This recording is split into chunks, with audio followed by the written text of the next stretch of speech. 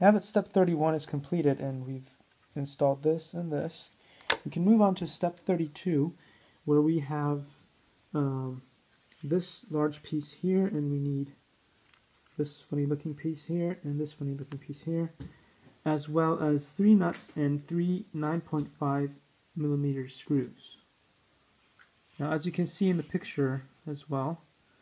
all we need to do is use, let me see here, it'll be this hole, this hole, and then we'll skip these two, uh, we'll skip this hole and then this hole here. And so we will install this one there and install this one by skipping one hole and having it there like so. Alright anyway we'll get this all done and then see you in the next video